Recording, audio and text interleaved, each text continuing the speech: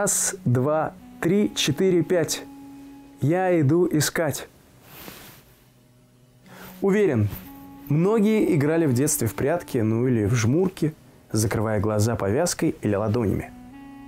На какие-то пару минут мы будто бы лишались зрения, но убрав ладони или повязку, вновь видели яркий свет и лица своих друзей.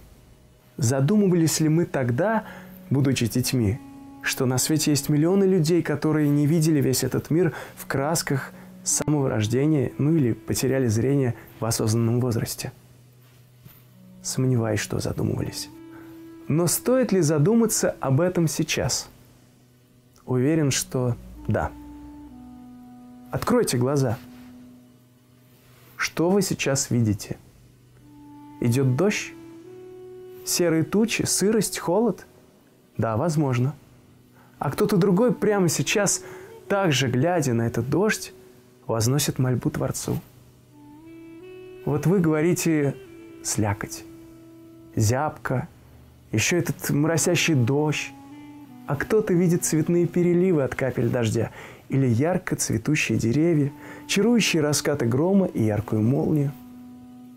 А вы задумывались, что наши глаза уникальны и фокусируются примерно на 50 вещах в секунду, и при этом, глядя на один и тот же пейзаж, скажем, я буду видеть одно, а вы уже совсем другое.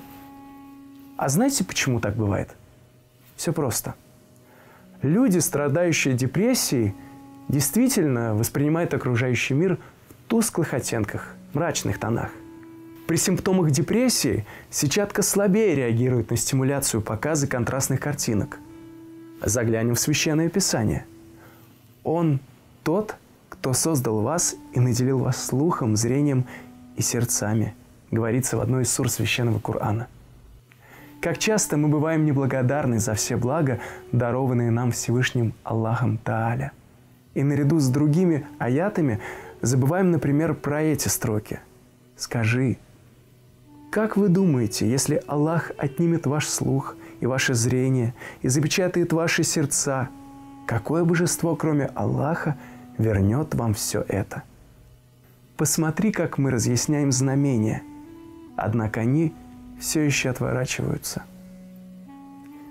Знаете, что, пожалуй, самое страшное в современном мире то, что большинство из нас имеют зрение, но будто лишены глаз. Они не видят, что тем, кто рядом, нужна поддержка, помощь. Они забывают благодарить Всевышнего Аллаха Тааля за прекрасные мгновения жизни. Они закрывают глаза на милосердие и отворачивают свой взор от страждущих, живя так, будто, будто это совсем их не касается. Да-да, увы, такое бывает. Когда люди гонятся за чем-то материальным, гонятся за красивыми картинками в социальных сетях, забывая о главном.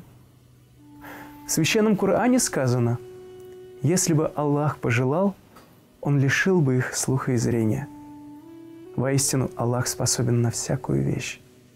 Сура Аль-Бакара – 20 аят. Друзья, так давайте же ценить все то, что нам даровано Всевышним, наслаждаться картинками нашей жизни, ежедневно открывая свое физическое и духовное зрение.